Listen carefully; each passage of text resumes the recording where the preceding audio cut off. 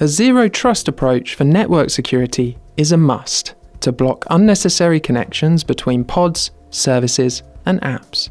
But when your traditional applications move to Kubernetes, you become blind to how your apps are communicating. Where do you start? The dynamic nature of Kubernetes makes static IP addresses obsolete, and container firewalls are a man in the middle approach. They introduce complexity with IP tables not managed by Kubernetes. However, a Kubernetes native approach to network security, like Kubernetes network policies, will stay in sync with Kubernetes updates.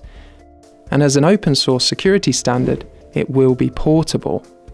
Now let's see how Sysdig gives you security with deep network visibility.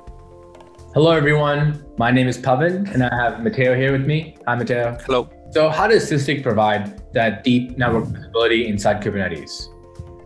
Let's first start with a cluster. What you're seeing here is what your current communication might look like, which is just a bunch of containers talking to another bunch of containers. Now, what Sysdig does that's unique is that we identify the network communication between containers based on the syscall events, and then automatically tag the containers based on the metadata that we collect. And this is unique where now you don't have to manually group those containers based on image name, tags, and other criteria, but we automatically tag those containers and map that communication flow based on the labels that we ingest. And this ultimately gives you a dynamic network topology map so that you can visualize all that communication inside your Kubernetes cluster. And this deep visibility now becomes the foundation for the strong network security in Kubernetes that we provide. Okay, so now let's look at a live example. Just looking at the communications from the Sysdig agent, we can build automatically a microservice to microservice topology map where you can pick the, the time in the past that you want to look at of uh, past communications that are already pre-computed for you and aggregated into these Kubernetes entities. There is also a tabular view where you can see each one of the communications with a little bit more detail uh, that we are going to use to fine tune the policy. There are also some communications that cannot be resolved to Kubernetes entities. For example, if you are contacting an external IP, there is no way that you can map that to a Kubernetes entity, right? Inside this feature, we are able to categorize those IPs as internal or external. So you can have a better picture of what is really happening in your cluster. So as you can see, this is how we provide Kubernetes native visibility into your microservices to microservices communications. Okay, so now let's look at how you can apply Kubernetes native network segmentation. What we've just talked about is how you get that visibility. Next, what we do is automatically create those least privilege policies based on the traffic and the metadata. And here, your developers and your DevOps teams don't have to waste time iterating and creating the right policy from scratch. Uh, the developer a lot of times has the application knowledge, so they can use a simple interface to modify the network policy and apply that application knowledge. Once that's done, then it goes over to the DevOps team who can then confirm the policy changes and apply the network segmentation easily within minutes.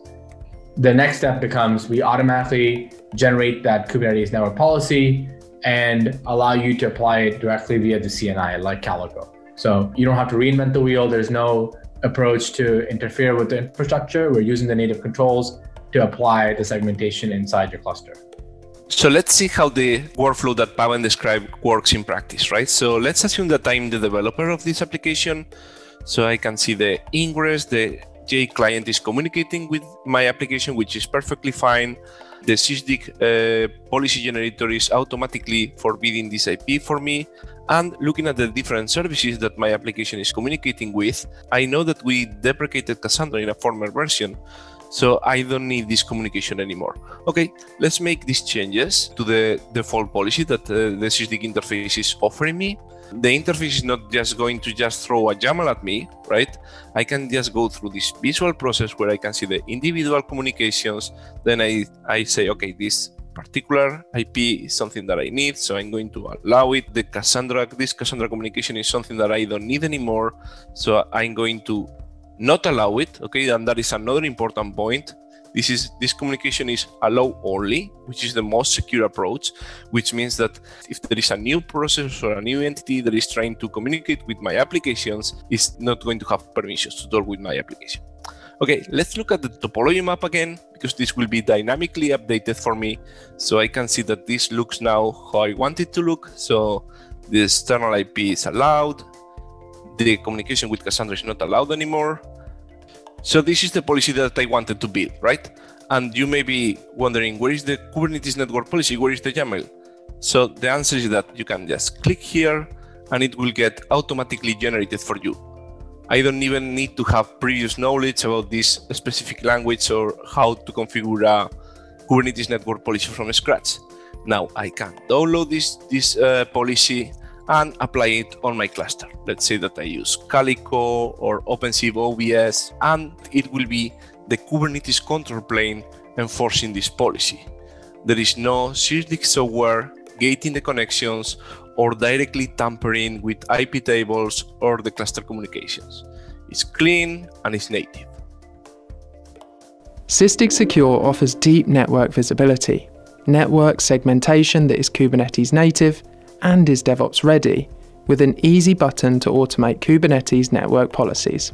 With the SysDig platform, you can confidently run containers and Kubernetes by securing the build pipeline, detecting and responding to runtime threats, continuously validating compliance, and monitoring containers and Kubernetes. Try the SysDig Secure DevOps platform today.